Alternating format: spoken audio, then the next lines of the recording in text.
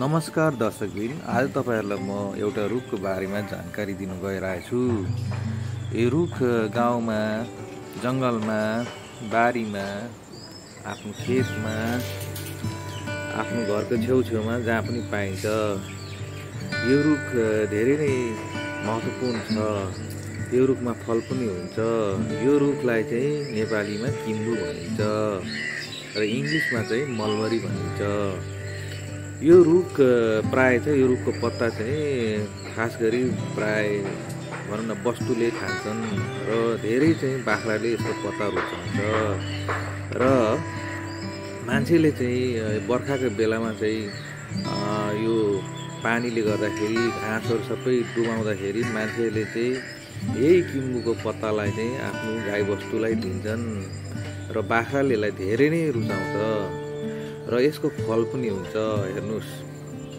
यसको फल यति लाभदायक छ यति लाभदायक छ कि तपाईँ छक्कै पर्नुहुन्छ यसको बारेमा जानेर।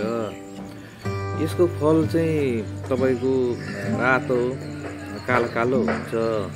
र हामीले बाउबाजेबाटै सुनेर आयो कि यो फल खाँदाखेरि मान्छेलाई धेरै फाइदा पुऱ्याउँछ। यसले चाहिँ प्रेसर सुगर क्यान्सर होइन? छालालाई राम्रो पार्ने कपाल नझर्ने कपाललाई कालो पार्ने स्किनलाई रिङ्कल नहुँदिने चाउरी नपर्ने यसको भनौँ न पाचन शक्ति यसको इम्युनिटी सिस्टम यति धेरै छ कि यो किम्बुको यो फलको होइन? तपाईँको यति इम्युनिटी सिस्टम बढी छ कि मान्छेलाई चाहिँ सर्दी पनि लाग्दैन ज्वरो पनि आउँदैन होइन? र मान्छेले यसको कलिलो पत्तालाई खानु पनि मिल्छ तर प्रायः चाहिँ बाख्राले पनि भनौँ न वस्तुले नै खान्छन्। यो किम्बु तपाईँको हाम्रो नेपालमा जहाँ पनि पाउँछ पूर्व पश्चिम तराई होइन? खास गरी यो किम्बु चाहिँ हाम्रै हाम्रै खेतमा हाम्रै घरको छेउमा भेटिन्छ। मान्छेले चाहिँ यो किम्बुलाई यति वास्ता गर्दैन। यो गाई बस्तुले खाने चिज हो भन्छन्। तर यो किम्बुको भनौँ न यो फलको यो किम्बुको फलको यति महत्त्वपूर्ण छ कि विदेशमा यसको लाखौँ पैसा पर्छ। यसलाई चाहिँ भनौँ न यसको चाहिँ बिक्री हुन्छ।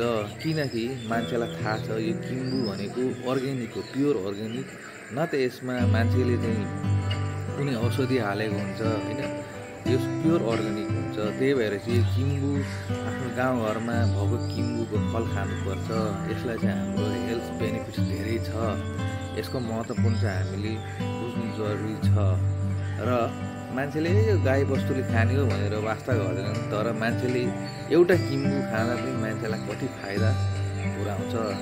फेरि दर्शकबिनलाई म फेरि भन्न चाहन्छु यो फलको फाइदा चाहिँ सुगर प्रेसर होइन? तपाईँको क्यान्सर जस्तो घातक रोगलाई नम्बर वान मानिन्छ। यसको कलिलो पत्ता पनि काम दिन्छ। र हाम्रो बाउबाजेले चाहिँ पहिल्यैदेखि खान्थे र उनीहरू धेरै तन्दुरुस्त थिए। सय वर्षभन्दा धेरै उनीहरूको आयु थिए। त्यही भएर चाहिँ हामीले पनि अहिलेको मान्छेले पनि यो किम्बुको बारेमा छ। किम्बुलाई चाहिँ हामीले भनौँ न गाउँघरमा पनि लगाउनु मिल्छ यो चाहिँ यसलाई चाहिँ काटेर पनि यसको बिरुवालाई चाहिँ हामीले सार्नु मिल्छ। यो किम्बु हतपत्त मर्दैन। मान्छेले चाहिँ यसलाई चाहिँ खासै त्यति उयो मान्दैन तर यसको विदेशमा यसको फलको चाहिँ धेरै महत्त्वपूर्ण छ। मान्छेले किनी किनी खान्छ। किन मान्छेलाई थाहा छ कि यसले चाहिँ क्यान्सर जस्तो घातक रोगलाई पनि हटाउँछ भगाउँछ र लड्न शक्ति हुन्छ। राम्रोले हेर्नु सिकिम्बु किम्बु इङ्ग्लिसमा चाहिँ मलबरी भनिन्छ। हामी नेपालीले चाहिँ किम्बु भनिन्छ यो किम्बु धेरै नै धेरै शक्ति भएको एउटा फल हो। त्यही भएर यो किम्बुलाई चाहिँ हामीले भनौँ न यसलाई चाहिँ हामीले लगाउनु जरुरी छ। यो किम्बुबाट धेरै फाइदा हुन्छ। गाउँघरमा पनि तपाईँको खेतमा पनि जहाँ पनि यो किम्बु पाइन्छ त्यही भएर हामी अहिलेको मोडर्न जमानामा यो किम्बुको महत्त्व बुझ्नु जरुरी छ। फल नभए पनि यसको कलिलो पत्ता खानु मिल्छ। त्यही भएर यो किन्नुको धेरै यसको इम्पोर्टेन्ट छ। दर्शकबिन तपाईँलाई कस्तो लाग्यो? यो भिडियो हेरेर कमेन्ट्स लाइक र सेयर गर्नुहोला। धन्यवाद।